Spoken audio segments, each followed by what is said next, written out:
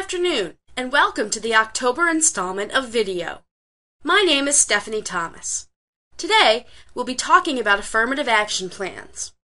Before we get started, I'd just like to say that I am an economic and statistical consultant and not a lawyer. The information I'll be presenting today should not be construed as legal advice.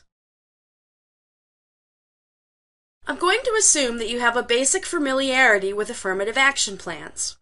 Typically, an affirmative action plan has five parts. First, there's the organizational profile, which is basically an enhanced organizational chart. Next is the job group analysis, followed by a utilization analysis. The utilization analysis is, in my view, the key component of the affirmative action plan. The results of the utilization analysis will guide the last two components of the plan, the placement goals and additional required elements.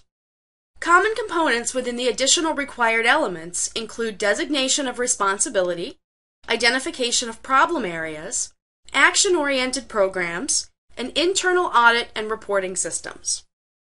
So let's take a closer look at an example affirmative action plan. Here we have the organizational profile. This essentially outlines the structure of the organization. For each major department or group, we see three pieces of information. The gender and race of the head of the department or group, the total number of employees within that department or group, and the gender and race composition of those employees. So, in the administrative group, the head is the general manager, who's a white male. There are six employees who report directly to him. Two are white males, one is Hispanic male, one is a white female, one is an African American female, and one is an Asian female. We see that there are three departments that report to the administration group accounting, design, and sales and support. For each of those three departments, we see the gender and race of the manager, the total number of employees, and the race and gender composition of those employees. These three pieces of information are presented for all departments or groups within the organization. Most organizations will already have an organizational chart like this, so to prepare an organizational profile, you just need to add in the gender and race characteristics of the supervisor and the employees within each grouping. The next step is to prepare a workforce analysis. For each of the departments or groups in the organizational profile, you're going to list out each of the job titles within that department or group. And for each job title, we're going to record the total number of employees and their gender and race characteristics. So, looking at our first group, administration, we see that six employees are spread across five job titles general manager, personnel manager, executive assistant, administrative support, and file clerk. For each job title, we record the number of white males, African American males, Asian males, American Indian males, and Hispanic males. We do the same thing for the female employees. You'll also note that we record the wage rate, the EEO1 category, and job group information. In this example, employees are paid according to a schedule, so we record the schedule and level in the wage rate column. The EEO1 categories are the standard 10 categories you're used to seeing. Executive and senior level officials and managers, first and mid level officials and managers, professionals, technicians, sales workers, administrative support workers, craft workers, operatives, laborers and helpers, and service workers. We do this for each of our departments or work units.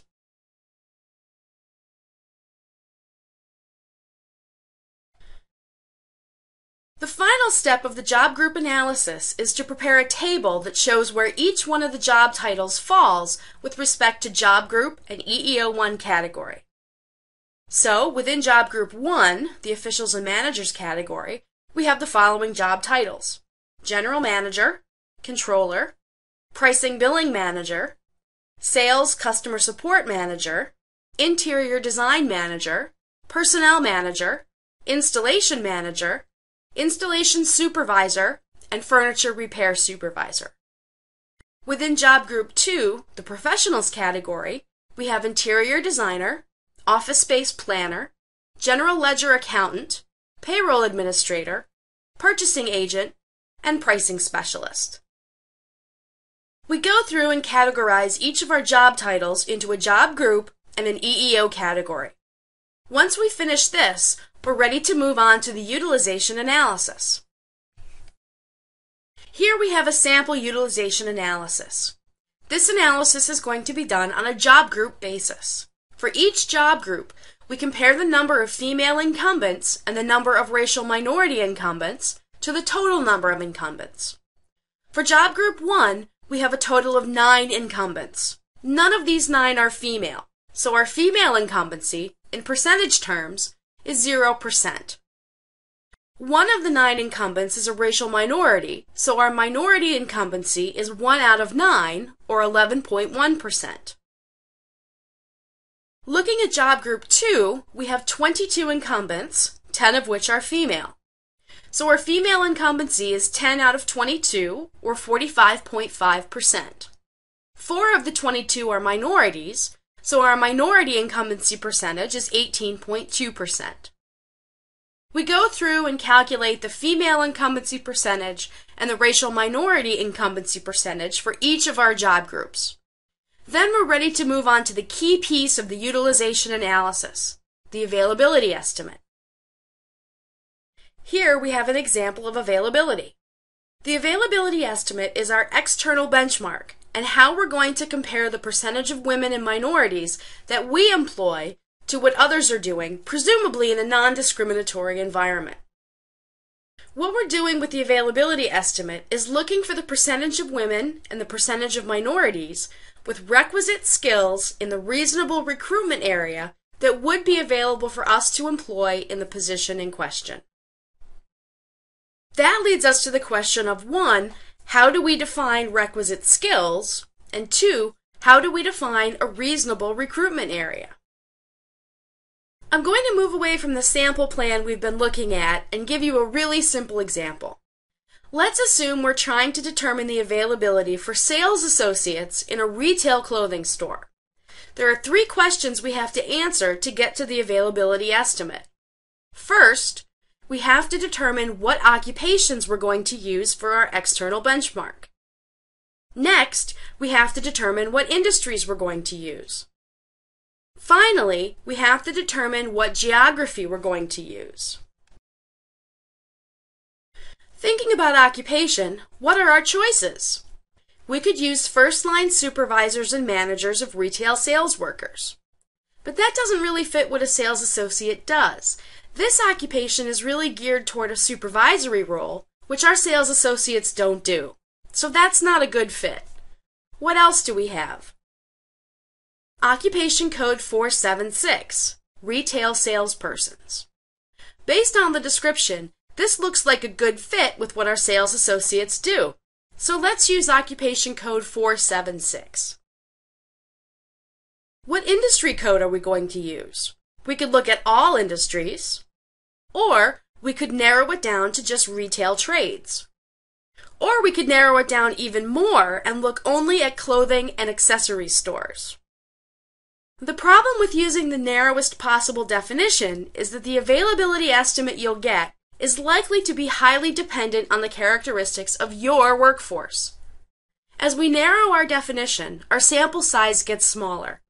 We have fewer and fewer firms to study, and it's likely that your firm will be a big part of that sample. The point is to get an external availability, so we don't want that. On the other hand, we don't want a definition that's too broad. In this case, we'd use the middle of the road approach and focus on retail trades. There's no reason to expect that retail salespersons in non clothing and accessory stores wouldn't be able to sell clothing and accessories. The sales skills are probably highly transferable within the retail industries. So we'll go with retail trades. Lastly, we have to think about geography. How wide of a recruiting area should we use? Where do we expect to draw candidates from? 10 miles? 25 miles? 50 miles? 100 miles? The thing to keep in mind here is how far would a reasonable person be willing to commute for the job in question? Generally, the higher the position within the organization, the larger the likely recruitment area. I might be willing to drive 50 miles each way for an executive vice president position that had a great compensation package. But I probably wouldn't drive 50 miles each way to work as a sales associate in a retail clothing store, earning 10 or $15 an hour. So the geography that you use will depend on the position you're looking at. And in this case, I think the 25 mile radius is our best choice. You're not limited to 10, 25, or 50 miles of the store location. You can pick any distance. You can also use a city or a metropolitan statistical area or whatever geography you think is appropriate. The key point is that your geography has to make sense for the position you're looking at. So we've decided that we're going to collect data on retail salespersons in retail trades within 25 miles of the store location. And using our census data, we find out that females are 50% of all retail salespersons in retail trades working within 25 miles of our store location. Among the same group, minorities are 35%. These are our external availability estimates. So let's take a closer look at the female availability. What would have happened if we would have used first line supervisors as our occupation? The availability would have dropped from 50% to 30%. What if we used all industries instead of just the retail industries? The availability would have increased to 56%. What if we used 100 miles instead of 25 miles from the store location? The availability would be 45%. The upshot of this is that the choices you make with respect to industry, occupation, and geography influence your availability estimates. And your availability estimates, in turn, influence whether you are, quote, in compliance. So let's assume that 55% of your retail salespersons are female. Using the availability estimate based on retail salespersons in retail trades within 25 miles of your store location, you have more females than expected. If we change the occupation to manager, you have a lot more females than expected. If we use all industries, you have a shortfall of females. You're not employing as many females as a percentage as expected. And if we use 100 miles, you're employing more females than expected. The way you construct your availability estimate is important. In each of these four examples, the composition of your workforce hasn't changed, but in some cases you have more females than expected, and in one case you have less females than expected.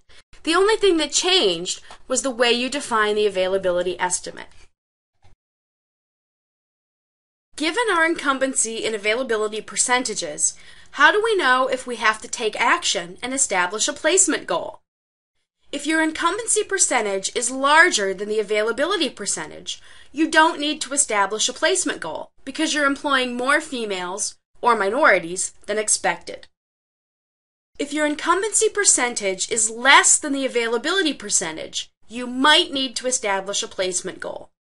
The rule of thumb that's often used here is the 80% rule.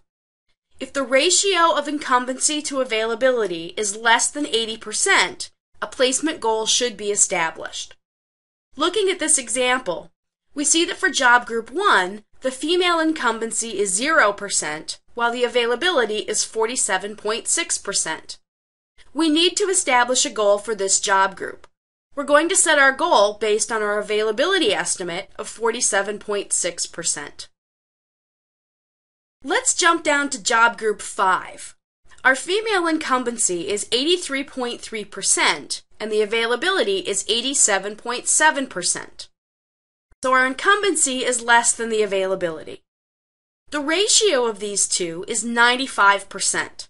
We calculate that by dividing 83.3% by 87.7%. Since the ratio is greater than 80%, it's actually 95%, we don't need to establish a placement goal for this job group under the 80% rule of thumb. The last portion of the affirmative action plan is the additional required elements. As I mentioned at the beginning, this section will include statements about the responsibilities of the EEO manager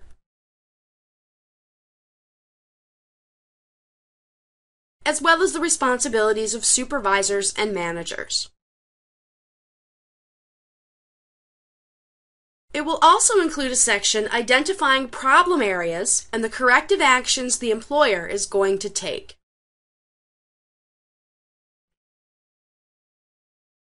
The final portion of the required elements section will include a discussion of the action-oriented programs that the employer is going to undertake. These programs include things like conducting annual reviews of job descriptions to make sure that they accurately reflect job functions and are in line with the performance criteria being used to evaluate employees in those positions, evaluating the total selection process to ensure freedom of bias by evaluating selection methods that may have a disparate impact to ensure that they are job related and consistent with business necessity, training personnel and management staff on proper interview techniques, and providing EEO training for management and supervisory staff, using techniques to improve recruitment and increase the flow of female and minority applicants, hiring a statistical consultant to perform an audit of the company's compensation practices, and ensuring that all employees are given equal opportunity for promotion by posting all promotional opportunities evaluating job requirements for promotion, and developing and implementing training and educational programs to enhance opportunities for promotion. If you have any questions about anything we discussed during this presentation, please contact me at your convenience. I can be reached by phone at 401 331 6360 or by email at sthomas underscore EEA at mcg-site.com.